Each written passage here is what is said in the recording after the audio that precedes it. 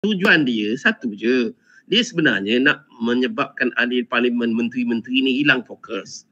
Sebab mereka dah tahu dah sekarang ini isu semasa yang ada ini menyebabkan mereka uh, tidak uh, memberi kelebihan kepada mereka kan.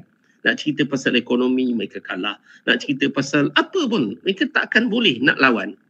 Ha, sebab itu akhirnya mereka kata apa? Muhyiddin tuan-tuan dengar apa yang Muhyiddin kata. Di awal ucapan dia dalam dua hari lepas ke tiga hari lepas eh, dia kata apa?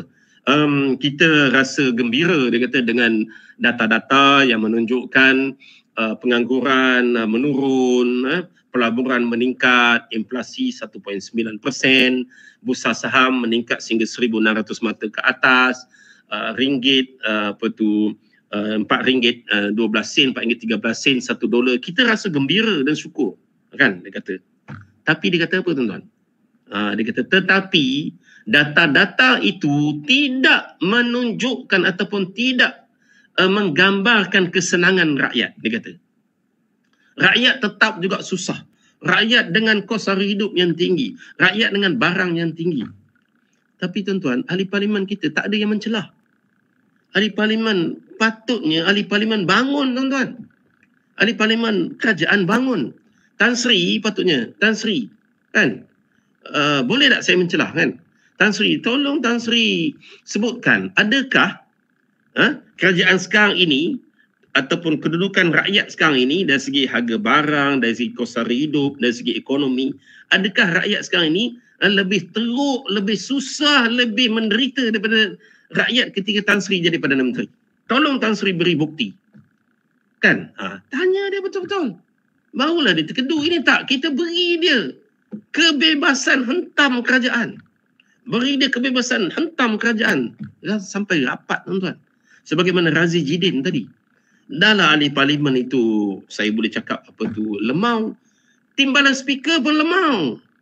Kan? Nah, sepatutnya timbalan speaker stop terus.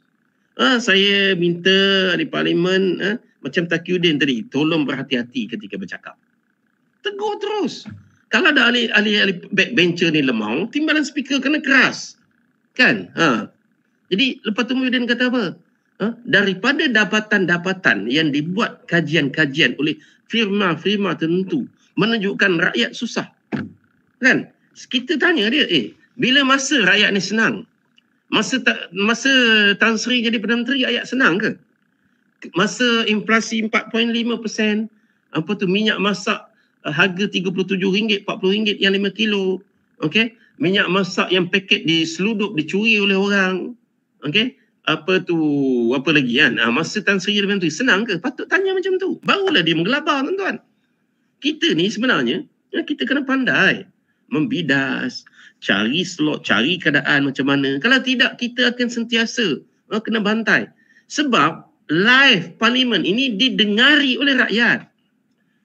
Takkan kita tunggu Datuk Seri Anwar menjawab. Kata takkan kita nak tunggu menteri menjawab. Menteri menjawab seminggu, dua minggu lagi. Rakyat nak termakan dengan apa yang Mudin cakap. Sebab rakyat yang tengok live masa tu.